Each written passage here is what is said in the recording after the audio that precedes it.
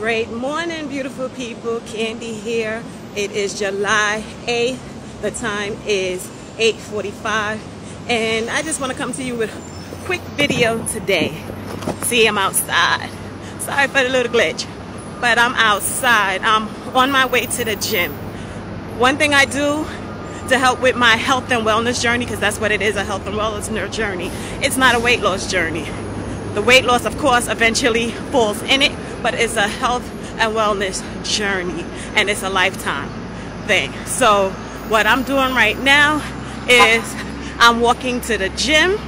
What I do is I walk to the gym, I do my workout, I don't OD, I do my workout and then I walk back home. That's part of staying active, keeping my metabolism up and running. So that's a great tip. A little goes a long way.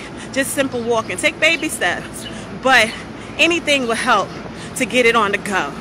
So with that being said, I would talk to you after the workout. I'll probably let you get a sneak peek of my workout while I'm in there.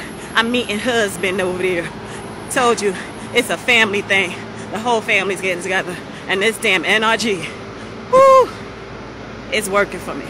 So that being said, Stay sexy, stay natural, stay you. Peace.